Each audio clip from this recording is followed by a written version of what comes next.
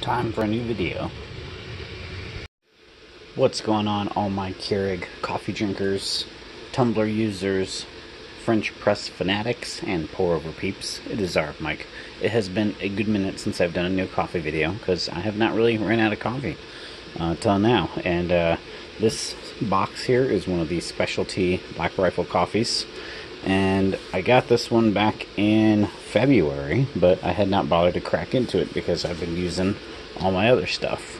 I wanted to save this one for la for last. So let's go on ahead and crack into this box and see what we have this time. I think I know, but every time I look at my email, they always it still tells me I'm getting a flying elk, which I know is not one of the coffees that is available anymore, so I know I missed that. But I have a feeling. So, like normal, we get our packaging here. Um, black. We get our specialty box right here. Okay, and inside our exclusive coffee subscription, we have today the new one. It is Chainsaw. Now, like I said, this was February's uh, coffee, exclusive coffee. We have our Black Rifle coffee decal that goes with it, of course, with the chainsaw. And here is our coffee itself.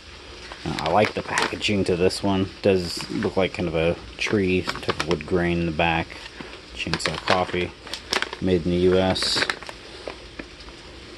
A hardworking coffee, so revved up. Flavor cuts down your need to buy any other brand. Very nice. Very nice black rifle. I like it.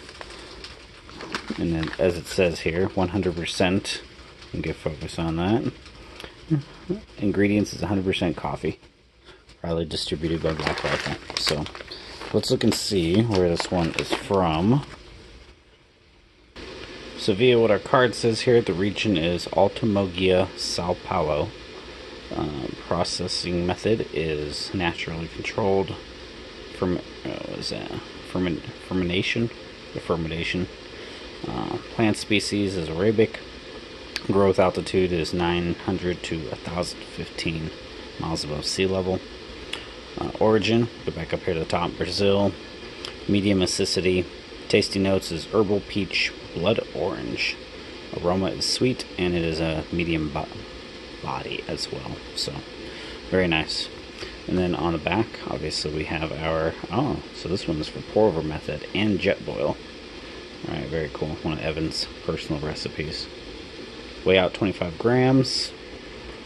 And uh, obviously this would be for, what's the coffee, 25 grams, dilution rate 15 to 1, 12 ounce cup. So this obviously won't work for me for what I do in the morning, but if I basically times that by 4, that's how much I would need for doing the pour over since we're doing one 10 ounce cup for my wife and the rest would be for me. So anyway, his method I'll try to hold that nice and steady for y'all in case you want a screenshot of that. But that'll be it for this. I will include a couple little snippet clips of how this coffee looks as it is being uh, poured over because that is how I'm doing my method lately. If you all like the video, hit the like button, comment, subscribe. This is RF Mike. I will chat with y'all in another video. Have a great morning.